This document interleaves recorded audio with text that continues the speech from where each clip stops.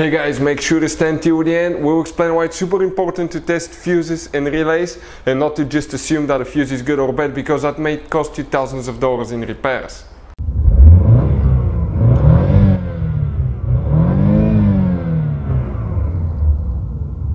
Hey guys, welcome back to Electrical Car Repair Live. Thank you guys for watching and subscribing to the channel. Today will be super helpful video to any of you having a Ford Mustang, that generation here from year 2015 to year 2023. If you need to find where the relay for the power outlet socket is located, which relay you need to check, where it's located, where to buy guys cheap relays and fuses, that way don't waste your money and why it's important to test relays and fuses, all that will be covered absolutely free for your convenience. Make sure you stay until the end. Before we start, let me just tell you a little bit about us guys. Every single car we get here at the garage, we try to make at least 2 to 300 free repair videos. We take them completely apart, we show you how to fix pretty much anything guys.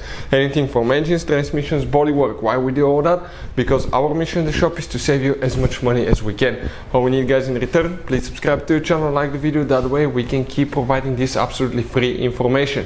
And if you guys need to buy any uh, replacement, fuses, relays, because some of those could be really expensive at the parts store, any parts, any tools for your car, check out the link in the description of the video below.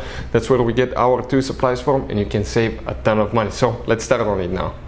So specifically right here we have a 2015, 2018 excuse me Ford Mustang GT 5.0 but even if you have a different engine the procedure will be about the same.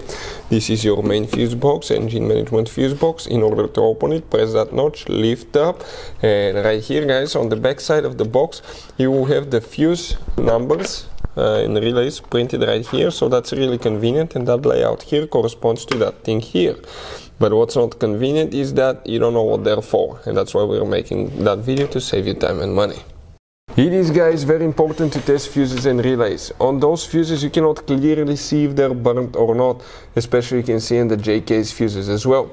And if you guys assume, okay, let's say you remove a fuse, you look at it and you assume guys that it's uh, actually a, a good fuse, but it's actually a bad fuse. Sometimes you cannot clearly see that.